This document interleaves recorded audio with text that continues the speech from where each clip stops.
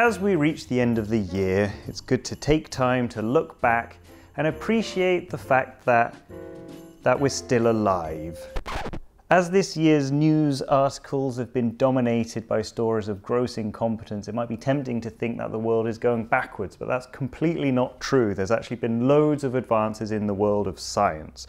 A multitude of space missions, magic lenses, new life forms, and 3D printed eyeballs. We've got a lot of ground to cover, so find a comfortable seat, grab yourself a bowl of champagne, and join me as we look at this year in science 2018. Humanity's inevitable slide into robot domination continued at a rampant pace this year. They beat us on reading tests, although admittedly some of us are better than others at that. They can now solve text-based CAPTCHA tests in less than 0.05 seconds, meaning that we'll have to jump through even more hoops to prove that we're not robots online. Boston Dynamics continue to creep us out with their running and jumping robots. And robots can now cling to your soft toys to make them come alive, which isn't at all the beginning of a Stephen King novel. But on a more serious note, this year saw the first recorded fatality caused by a fully automated system, when an Uber self driving car sadly hit and killed a woman in Arizona.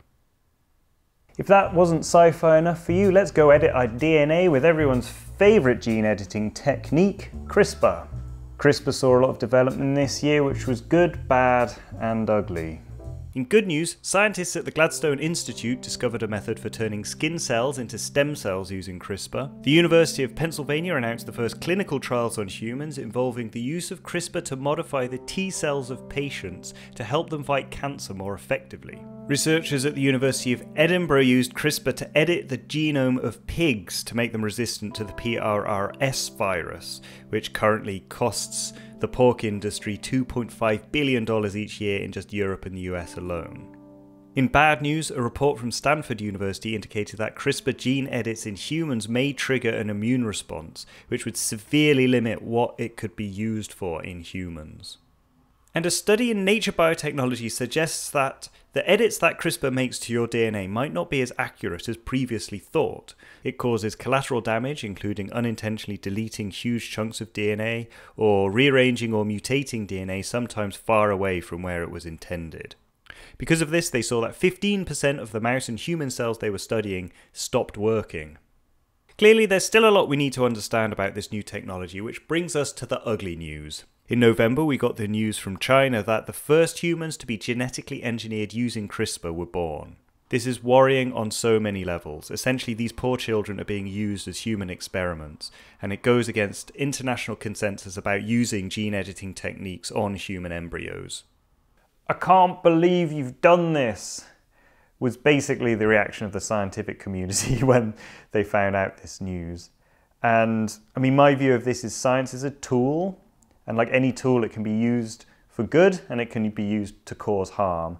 And like Uncle Ben said, with great power comes great responsibility. And this is definitely an example where it's being used incredibly irresponsibly.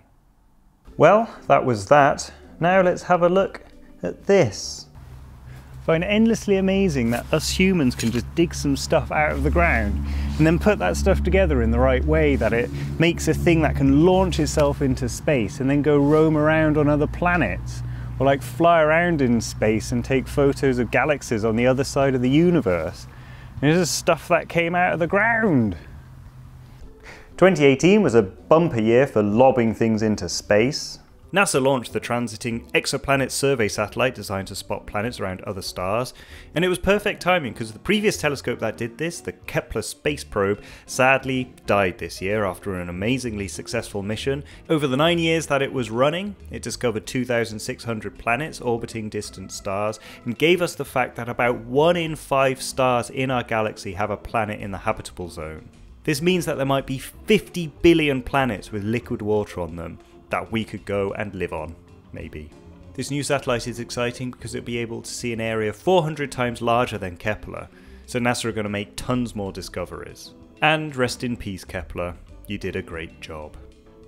In other news, the Mars InSight spacecraft launched and successfully landed on Mars to dig down into the subsurface to see what's there. NASA approved the Mars Helicopter Scout, so there's going to be a helicopter on Mars in 2020. The spacecraft Dawn went silent after studying the two largest objects in the asteroid belt, Vesta and the dwarf planet Ceres. The Parker Solar Probe was launched to study the Sun and solar wind. The Bepi Colombo probe was launched and will arrive at the planet Mercury in 2025. OSIRIS REx arrived at the asteroid Bennu, it discovered water, and it's going to bring back some asteroid material back to Earth.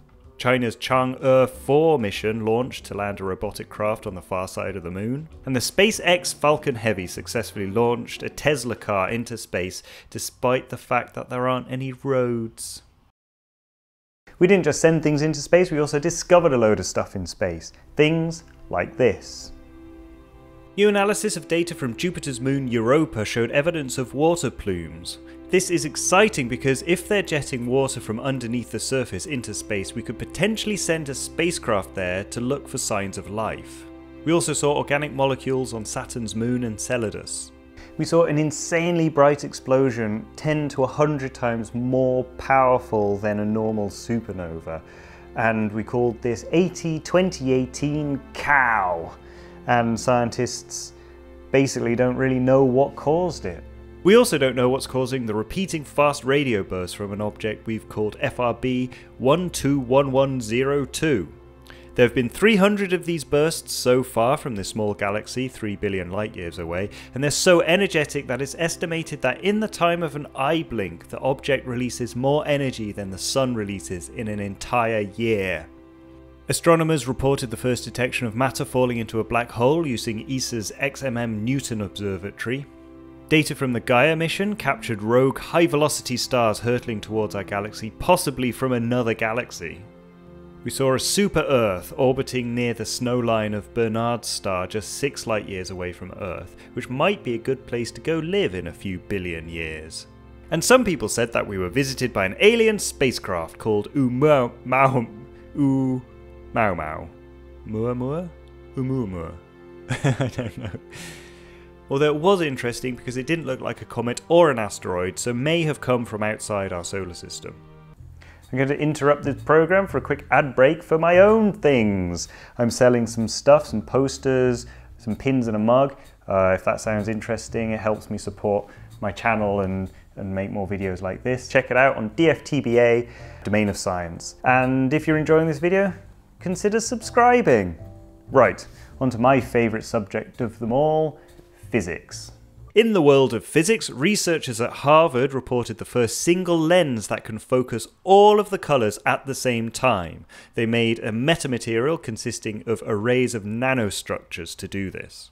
This is potentially a huge deal because it takes what's normally a stack of lenses and turns it into a single flat, easily made surface. And so it'll be good for miniaturizing lenses and also potentially revolutionize things like VR and AR technology. Researchers found perhaps the highest temperature superconductor to date that superconducts at only minus 13 degrees Celsius or 8 degrees Fahrenheit, but only if compressed between two diamonds to 2 million times atmospheric pressure. Also, graphene was observed to superconduct if two layers are slightly offset from each other. Both results are fascinating and might give us more insight into how to make other superconducting materials. There was a new record for efficiency for organic photovoltaic cells, bringing the maximum efficiency up from 15% to 17.3%, which is quite a big jump. The most wear resistant metal so far was created, a platinum gold alloy, 100 times more durable than high strength steel. The IceCube Neutrino Observatory announced its first detection of an object in space, tracing back a neutrino to a blazar, a very active centre of a distant galaxy 3.7 billion light years away. And LIGO has made 11 gravitational wave detections to date. Google unveiled its 72 qubit quantum computer. Physicists produced a quantum entanglement between living bacteria and light. We found that the geomagnetic north and south poles of the Earth can flip very fast within 200 years, and the standard kilogram was redefined in terms of Planck's constant. Whew, blimey, that was quite the barrage. Right, on to the world of biology. Scientists mapped a complete fruit fly connectome at nanoscale resolution from 21 million images showing how all 135,000 neurons in its brain are connected. The wheat genome was fully sequenced after 13 years of work, which will help develop strains of wheat that are resilient to climate change. We found that naked mole rats don't die of aging, so we can add them to the list of animals that can't be bothered to die, which includes flatworms and the immortal jellyfish. We found the largest bird to ever have existed, an extinct elephant bird from Madagascar, which was 3 metres tall. The oldest tools outside of Africa were found in China and dated to 2.12 million years ago and an entirely new form of life was found in a tiny sample of soil from Nova Scotia called a hemimastigote, which is not an animal, plant, fungus, or anything else. It's just its own thing, which is an incredible discovery. The Earth Biogenome Project was launched, which aims to sequence the genomes of all 1.5 million animal, plant, protozoan, and fungal species on Earth over a 10 year period. And scientists in the UK completed the 100,000 Genomes Project, which will help tailoring treatments to specific patients' genetics and brings us to this year in medicine. There are a lot of advances in the world of medicine this year, and here are some of my top stories. A blood test that can detect eight common cancer tumours early was developed and reported 70% positive results. Advances were made in Alzheimer's research where scientists found that blocking the enzyme beta secretase in mice can substantially reduce the formation of plaques thought to be responsible for the debilitating disease. And 3D printed corneas were created, the FDA approves the first artificial iris, and the first lab grown lungs were successfully transplanted into pigs. There was a massive study on the effect of low dose aspirin on older healthy people, previously thought to be beneficial, but was shown to actually not be beneficial and perhaps harmful, which is a good thing to know. A new polio vaccine that doesn't require refrigeration was developed. It can just be freeze dried, which is an amazing development for transportation to remote areas and for areas that don't have refrigeration infrastructure. And finally, research was done into the effects of vaping, which is hot amongst teens, with one in five high schoolers doing it. And the results were not good at all. Medical researchers found that e cigarettes contain chemicals known to cause cancer and brain damage, as well as potentially toxic levels of metals including arsenic, chromium, lead, manganese, and nickel. So, yeah, smoking got rebranded. We've got a whole new generation of nicotine addicts and we can look forward to a whole load of lawsuits happening in about 20 years. Well, on a lighter note, let's look at this year in climate change. Okay guys, there's some good news and some bad news. I'll start with the good news. The hole in the ozone layer is recovering much faster than previously thought and is now projected to totally close by the 2030s in the northern hemisphere and the 2050s in the southern hemisphere. This is a fantastic example of how humanity can all come together, organise, and change their behaviours to fight a giant existential threat. Admittedly, CFC emissions were easier to give up than carbon emissions, but this is still a great success story that we can use to show that it's possible for us to enact large scale global change. Which brings us to the bad news. The World Meteorological Organization published its latest report showing that CO2 levels in the atmosphere reached 405.5 parts per million in 2017. This is up from 403.3 in 2016 and 401 parts per million in 2015.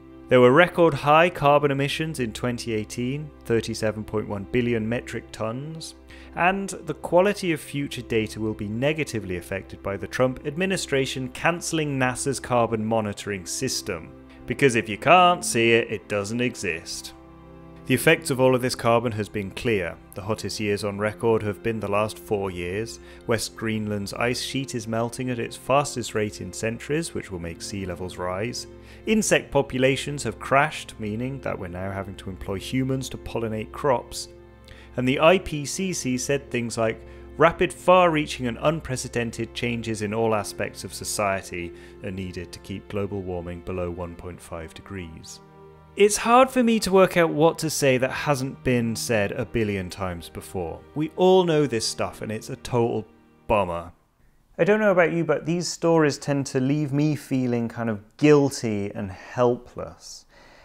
And feeling guilty and helpless isn't a good place to start enacting change. So I'm starting a new rule. Every single climate change story that talks about how negative everything is needs to end on one actionable step that you can take this week to actually start making progress to fight this stuff. So this is my plan. If you think about every single step of progress is going to be made by an individual making a decision. And so the trick is to work out how you as an individual can have the biggest impact, how you can leverage your position to make the biggest change. And I think one way of doing this is through our workplaces. So if you are a junior employee, you can start a green team. If you're on the management positions, you can help the green team or encourage people to turn off the lights or computers when they leave work. And if you're a CEO of a company, you can really think about how your company can reduce its carbon footprint, what things it can do. And I know you've got all of those shareholders banging on about you about endless profits, but what's the point of endless profits if we're all dead? So let's make the downtown dark. Whoa, well, that just about wraps things up. Thanks for coming along on this journey with me through the science of 2018, and I'm looking forward to seeing where we go in 2019. So, wishing you all a very happy new year. And if in the new year you're looking to up your science game, I'd recommend checking out the sponsor of this video, brilliant.org. It's a website where you learn different subjects like physics, mathematics, computer science, a whole bunch more. And you learn by actively solving problems, which is the best, if not the only way to properly learn a subject. The questions are built around problems that you have to solve. I really enjoy solving them myself, especially the weekly problems. It keeps my mind fresh. And also they're proper mathematics or science questions that you're solving, so you're actually learning some real valuable information. So if that sounds of interest, check out brilliant.org slash DOS. There's also a link in the description below. And for the first 200 people who subscribe, they're giving away a 20% discount for their annual membership, which unlocks all of their premium content. They've got a lot of stuff on there also for free. So check that out. So that's it. Thanks so much for watching and I'll see you in the new year.